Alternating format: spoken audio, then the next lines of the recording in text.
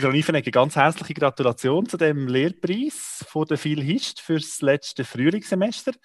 Ähm, jetzt ist es ja so, dass das nicht euer erster Lehrpreis ist, den ihr gewinnt. Ich habe recherchiert und gesehen, dass Sie Trägerin sind vom CS äh, Award for Best Teaching im 2009. Ähm, also ein bekanntes Gefühl für Sie. Oder doch überraschend? Merci, merci für die Einführung. Das ist genauso überraschend. Von dem her nicht äh, wahnsinnig, weil es nicht der erste ist. Ähm, trotzdem deshalb überraschend, weil es in diesem Covid-Semester ist. Gekommen. Also ich habe dort wirklich gedacht, jetzt haben wir da die spezielle Situation, wir arbeiten alle im Krisenmodus. Ähm, die Lehre wird leiden unter dem, äh, darf auch leiden darunter, weil als allererstes geht es mal darum, dass wir einfach den Betrieb aufrechterhalten.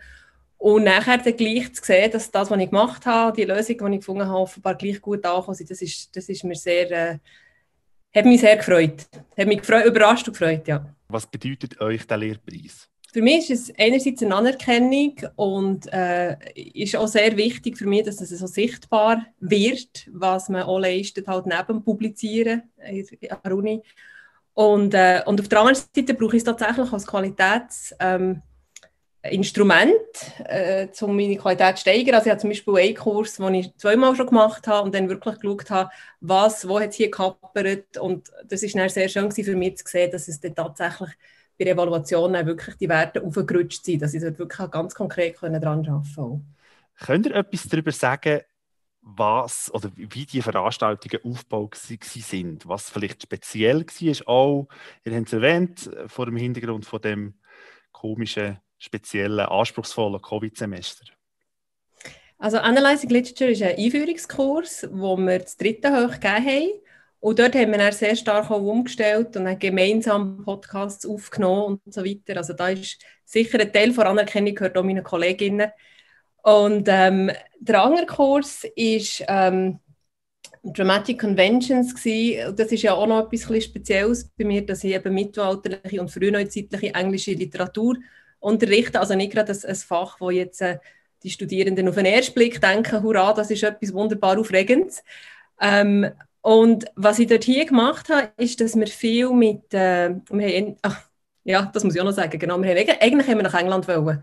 Äh, geplant war, dass wir nach London gehen zusammen in Globe und wir haben die Plays gelesen zusammen, die dann im Globe gespielt wurden im Frühling. Und äh, das ist dann auch nicht stand gekommen, wiederum wegen Covid. Und das haben wir nachher einfach ersetzt mit Videos und haben gemeinsam äh, vergangene Produktionen angeschaut. Und die Studierenden in diesem Kurs ist eigentlich jeder so ein Spezialist für ein Thema und hat sich dann in jedem, in jedem Theaterstück diesem Thema wieder zugewendet und das wieder verfolgt. Und dann haben wir dann gegenseitig die ähm, Resultat vorgestellt. Also mir ist das auch sehr wichtig natürlich, dass wirklich das Lernen und Lehren ein kollaborativer Prozess ist. Das heißt, ähm, ich lerne auch von Ihnen äh, sehr viel und sehr aufregende Sachen. Das merken Sie natürlich auch, äh, dass Ihre Ideen und Ihre, Ihre Vorschläge, äh, dass es dort nicht nur darum geht, dass Sie Sachen abfragen auf ein bestimmtes Ziel hin, das ich hören will, sondern dass es mich wirklich wundernimmt, mit was kommen Sie daher. Ihr seid offenbar motiviert dafür auch, sich für die Lehre einzusetzen. Warum ist das so? Oder was ist eure Motivation für das?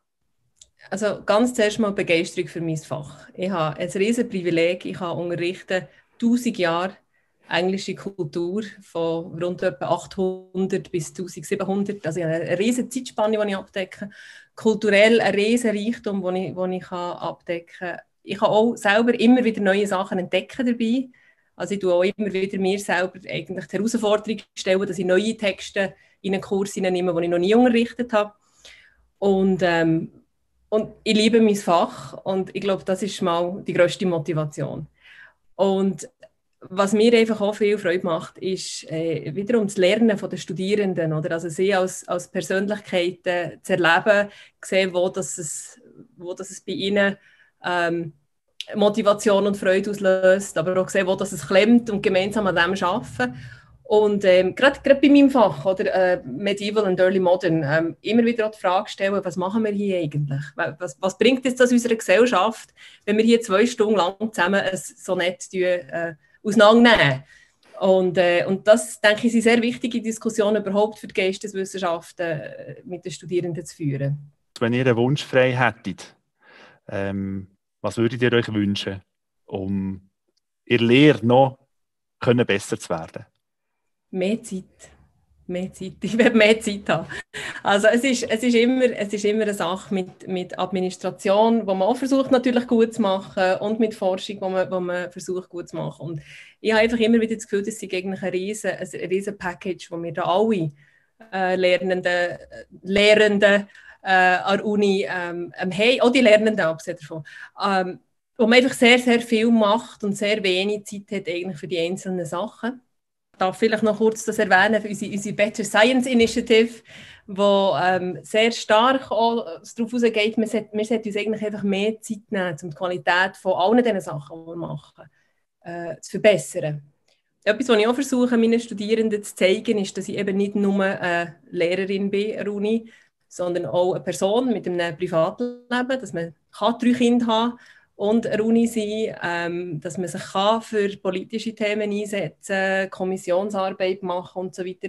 Und ich stelle mir eigentlich bei den Studierenden am Anfangssemester immer so vor und hoffe wirklich, dass ich dort auch so ein bisschen eine, eine Vorbildfunktion einnehmen kann, nicht nur die Lehrpersonen zu sehen als mehr ganzheitliche Personen, sondern sich selber auch zu zeigen als, als ganzheitliche Personen. Weil auch sie haben ja, das vergisst man auch bei der Lehre, dass, dass die äh, Studierenden auch ihre eigenen Geschichten mit sich herumtragen und ihre eigenen Probleme und Sorgen noch haben, neben einem Sonett zum Beispiel. Und, ähm, und, und, dort einfach das so ein bisschen der ganzheitliche Blick, das ist eigentlich etwas, was mir auch noch sehr wichtig ist. Darum bin ich froh, dass ich das noch erwähnen durfte. Wir sind alles Menschen und nicht nur in unseren Funktionen tätig. Ja. ja. Merci vielmals für das spannende Gespräch. Merci euch.